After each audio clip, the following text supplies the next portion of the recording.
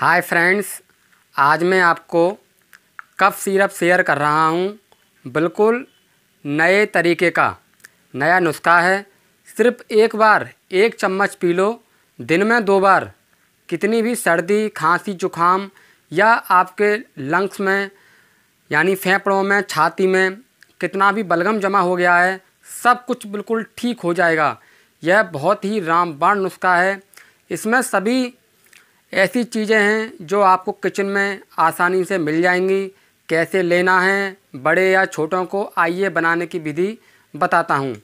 Hi friends, मैं अरविंद कुमार, एक एक क्लासेस में स्वागत करता हूँ। फ्रेंड्स, अगर आज ये वीडियो आपको पसंद आता है तो लाइक कीजिए, शेयर कीजिए तथा सब्सक्राइब कीजिए। तो वीडियो स्टार्ट करते हैं। तो फ्रेंड्स ये मैं जो आपको नुस्खा बता रहा हूँ तो वीडियो को बिल्कुल भी स्किप ना करना, क्योंकि मैं आपको जितने भी इसमें जो किचन में जो चीज़ें होती हैं, चाहे आपको बलगम है, सर्दी है, खांसी है, जुखाम है, या सर्दी की वजह से आपको फीवर रहता है, बिल्कुल एक ही खुराक से बिल्कुल आपको ठीक हो जाएगा, और ज़्यादा नहीं, केवल दो दिन ये पी लेना, बिल्कुल जड़ से आपका ये बिल्कुल ठीक हो जाएगा। तो स्टार्ट करते हैं कि आपको क्या क्या लेना है। हल्दी लेनी है आपको आधा चम्मच, ये आपकी हल्दी। हल्दी आपको लेनी है आधा चम्मच तो आपको अजवाइन लेनी है आधा चम्मच। ये आपकी अजवाइन हो गई आधा चम्मच। देखिए, अजवाइन हो गई, हल्दी हो गई, इसके बाद में आपको आठ लेनी है काली मिर्च। ये लेनी है आठ काली मिर्च। आठ काली मिर्च आपको लेनी है। आप काउंट कर लेना, आठ काली मिर्च आपको लेनी है।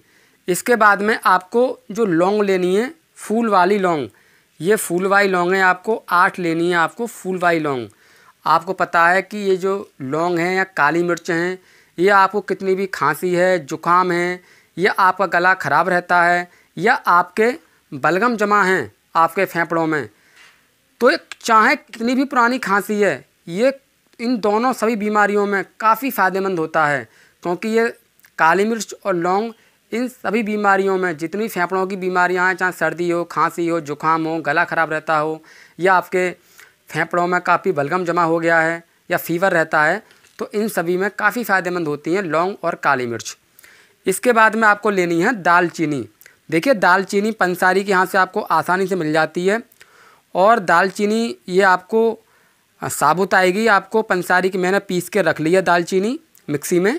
तो आपको इसकी मात्रा ज़रूर ध्यान रखनी है, क्योंकि अगर आप इसकी मात्रा ज़्यादा या कम करते हैं तो आपको ये बिल्कुल भी फ़ायदा नहीं करता है, क्योंकि ये काफ़ी गर्म मसाले होते हैं। तो आपको दाल चीनी लेनी है आधा चम्मच। कितनी लेनी है? दाल चीनी लेनी है आपको आधा चम्मच। इसके बाद में आपको तुलसी के पत्ते लेने हैं चौदह से पंद्रह। क्योंकि तुलसी के पत्ते, जब आप चौदह से पंद्रह लेते हो, क्योंकि तुलसी के पत्ते मैंने ये लिए हैं, श्यामा तुलसी होती है, ये। ये चौदह से पंद्रह आप तुलसी के पत्ते ले सकते हो। इसके बाद में आपको लेनी है मुलैठी। ये मुलैठी है। मुलैठी भी मैंने पीस के रख ली थी और मार्केट में आपको रेडीमेड भी मिल जाती है मुलैठी। मुलैठी जितनी भी आपकी फेफड़ों की बीमारियाँ हैं, चाहे सर्दी हो, खांसी हो, जुकाम हो, या आपके बलगम जमा रहता हो, या आपका गला ख़राब रहता है, या गला बैठ गया है, मुलैठी काफ़ी रामबाण है आपके फेफड़ों की बीमारियों में। तो मुलैठी आपको लेनी है आधा चम्मच। मुलैठी भी आपको लेनी है आधा चम्मच। ये हो गई आपकी मुलैठी। अब इसके बाद में आपको लेनी है अदरक। अदरक कितना लेना है आपको? अदरक आपको लेना है करीब एक इंची। ज़्यादा आपको लेना नहीं है, जितना अदरक मैंने बताया है, उतना ही आपको अदरक लेना है। और तुम्हें पता है कि अदरक कितना फ़ायदेमंद होता है, चाहे वो सर्दी हो, खांसी हो, जुकाम हो, या बलगम जमा रहता हो, या इसकी वजह से फीवर रहता हो। तो काफ़ी ज़्यादा फ़ायदेमंद होता है आपको अदरक। तो अदरक इस तरीके से आपको कद्दूकस कर लेना है, करीब एक इंची अदरक इस तरीके से आपको कद्दूकस कर लेना है। अब बनाने की विधि में आपको आगे बताऊँगा किस तरीके से इस सभी जो नुस्खे मैंने बताए हैं, जितने भी मैंने ये सारे मैंने अजवाइन हो गया, है ना?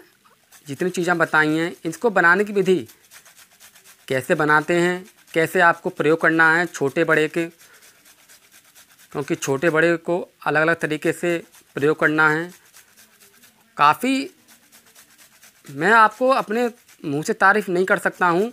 जब आप प्रयोग करोगे, आप खुद तारीफ़ करोगे कि, सर हमें कितना भी पुराना सर्दी, खांसी, जुकाम था, बलगम जमा था, किसी भी दवाई से आपको फ़ायदा नहीं मिला, आप एक बार इस नुस्खे को ज़रूर प्रयोग करें। ठीक है? तो ये हो गया आपका कद्दूकस। तो मैंने इसमें आठ चीज़ें बताई।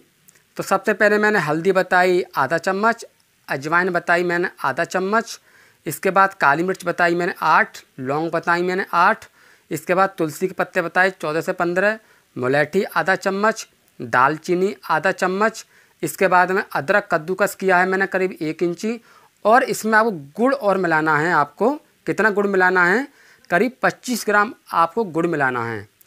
अब ये तो सभी हो गए आपके, इंग्रेडिएंट हो गए सारे। अब बताता हूँ बनाने की विधि और आपको किस तरीके से इसका प्रयोग करना है छोटे बड़ों को। तो वीडियो पूरी देखना, बिल्कुल स्किप ना करना। अगर थोड़ी वीडियो स्किप करते हैं तो आपको बिल्कुल भी फ़ायदा नहीं मिलेगा। तो देखिए, देखते हैं कि आपको कैसे आपको ये बनाना है। तो इसको बनाने के लिए आपको एक गिलास पानी लेना है और एक गिलास पानी को आपको बड़े बर्तन में कोई बड़ा कटोरा हो, उसमें आपको मिला देना है। और इस एक गिलास पानी में आपको जितनी भी आपकी ये औषधियाँ हैं, इन सभी औषधियों को इसमें आपको मिला देना है। और फिर इसके बाद आपको इस पर अपनी गैस पर इसको बॉईल करना है। बॉईल करना है जब तक जब तक एक गिलास का पानी आधा हिस्सा ना रह जाए। इस तरीके से आपको ये तब तक बॉईल करना है जब तक ये एक गिलास का पानी आधा गिलास ना रह जाए। जब एक गिलास का पानी आधा गिलास रह जाएगा तब इसको आपको छान कर गुनगुना आपको पीना है। अब इसको अच्छे से इसे छान लेना है इस तरीके से। और छानने के बाद में इसे इस तरीके से छन्नी में अच्छे से इसे, जो इसका लिक्विड फॉर्म है, इसे अच्छे से इसे छान लेना है। उसे प्रेस करना है, अच्छे से घुमाना है चारों ओर, जिससे कि इसका जितना भी लिक्विड है, लिक्विड आपका सारा लिक्विड ग्लास में आ जाए इस तरीके से।